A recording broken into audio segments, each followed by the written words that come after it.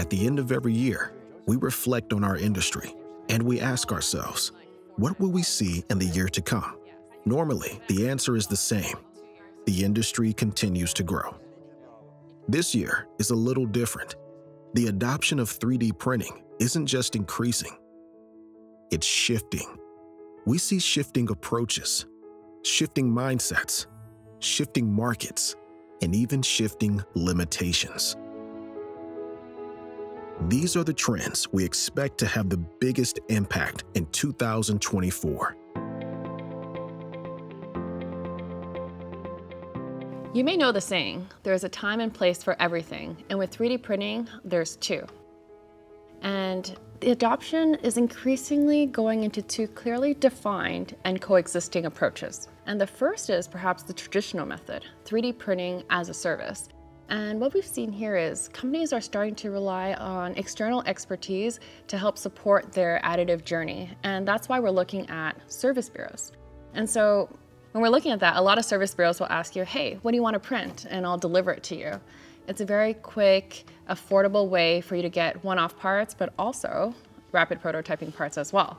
And so what's really interesting there is it makes it a very easy and affordable way for organizations to get access to the additive manufacturing technology. But when we're looking at the second approach, it shows how successful 3D printing has really come along. It is no longer an afterthought when we're talking about mass manufacturing, but we're really looking at companies finding it a great way to, to utilize this valuable technology and integrate it into their production process. And they do it in many different ways. Maybe they're trying to print specific components for large series end-use parts, or perhaps they want to mass manufacture customized parts for individuals or even patients, like insoles and, and eyewear. Either way, what's really interesting here is there's a clear demand for application-specific additive manufacturing uh, machines and workflows. And here, what we're seeing is innovation isn't exclusive just at machines, but it goes far beyond from 3D printing, post-processing, finishing, quality control, and as we all know, 3D printing software as well. And so as the wall between traditional manufacturing and 3D printing disappears, companies are looking for ways to merge these two technologies in an effort to optimize their overall manufacturing process. It's interesting to hear you talk about um, how adoption is changing because actually the market is changing too. And traditionally 3D printing has, has offered two choices, low budget or top-end machines. And, and quality always came at a premium. Now this left a large customer segment um, whose needs weren't, weren't fully met basically. Machine manufacturers know that, so they've started to offer mid-price machines aimed at this mid-range market, and that is now reaching quality levels that is, that is really competitive and cover basically the entire technology spectrum. So as a result, companies can now get the quality they need at a lower price than ever before, and in essentially any type of material they, they might require.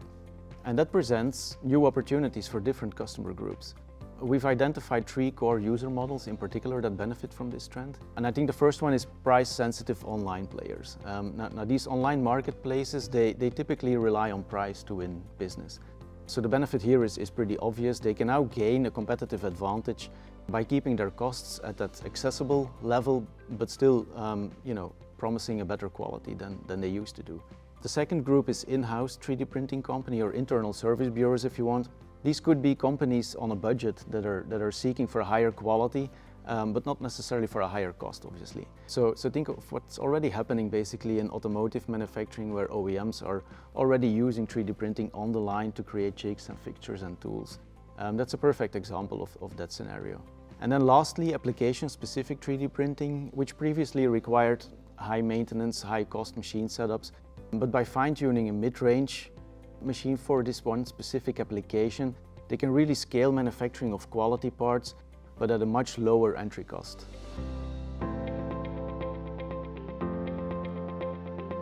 That's indeed an important shift. But we're also seeing a mind shift in the way companies are looking into 3D printing. Now for years our industry focused in convincing companies um, why they should use 3D printing. And as a result, its benefits are no longer in question. We all know that companies see how it speeds up production, for example, how it can reduce costs for prototypes, how it can reduce the reliance on supply chains, and how it can empower small customization. It's now considered as a valid option in most circles, actually. They view 3D printing as a complementary technology, not a competitive technology at all. And they know that it can be used alongside traditional manufacturing mm -hmm. techniques. That shifting mindset brings new questions, of course. Before it was all about why, now it's all about how. For example, how can I integrate the technology and scale a production? But companies are struggling to find the answers. And it's because the lack of necessary expertise and knowledge inside the company and organization. They're struggling to recruit an expert workforce, for example. And while they see the need to bring in people with the right knowledge and skills, it's easier said than done. How these companies overcome the barrier may determine everything. Their 3D printing journey may be a great success, or on the other hand, uh, it may never get off the ground. And our industry as a whole can help with addressing the challenges these manufacturing companies face. That could be through training, workforce development, identifying new business models, or providing new and easier to use software and hardware. That's very exciting. It's exciting to see that companies have a better understanding of the unique benefits of 3D printing.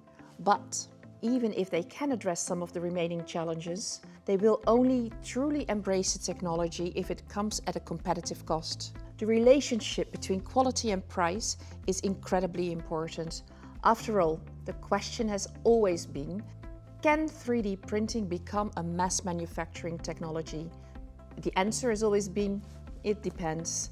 To become viable, its costs need to be as desirable as its benefits. Many doubted that would ever be possible. But it's happening right now.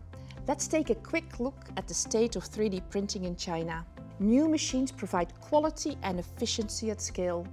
And affordable materials make much larger orders feasible. We see, for instance, razor-thin titanium hinges for foldable phones and a mass production of smartwatch cases.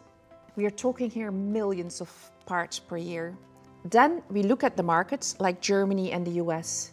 They're accelerating this process too by focusing on multi-laser printers. They're helping driving down the cost of machines. It will still be difficult to match other costs like materials, but the growth of this technology is inspiring because it shows what's possible when we integrate 3D printing's design capabilities into industrial scale production processes at an industrial cost. That's exciting.